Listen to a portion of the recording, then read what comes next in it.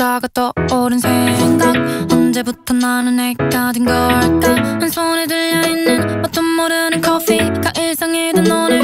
또 혼자 처음으로 마셔본 맥주가 생각이 나 따가운 목을 내 만짐에 떠올려. 그 사소한 감정들 하나.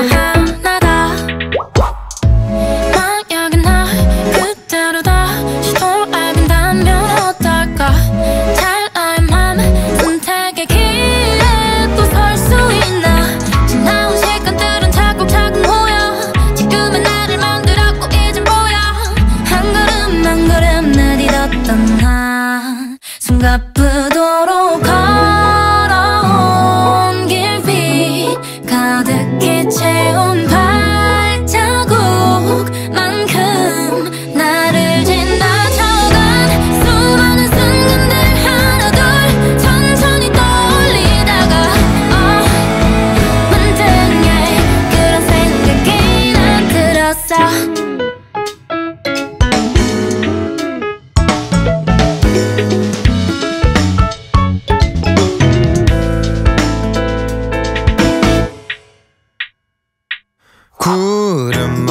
떡간 꽃가루가 내 생각은 자꾸 자꾸 번져만 가네. 어디서 떠오를지 어디에 도착할지 아무도 모르겠지.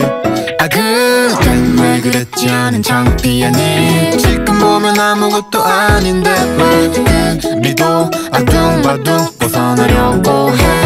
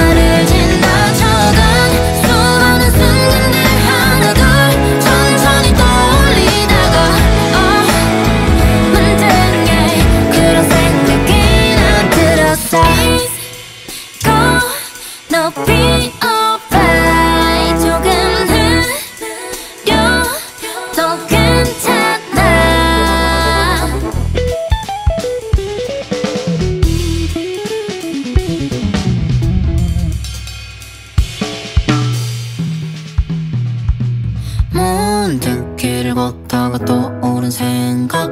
언제부터 나는 내가 된 걸까? 언제 이 길의 끝에 다 다르게 될까? 아마도 모르겠지. 또 문득